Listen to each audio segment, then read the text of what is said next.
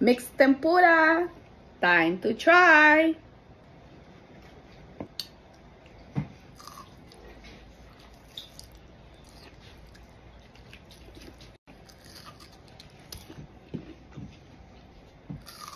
Mmm, so good.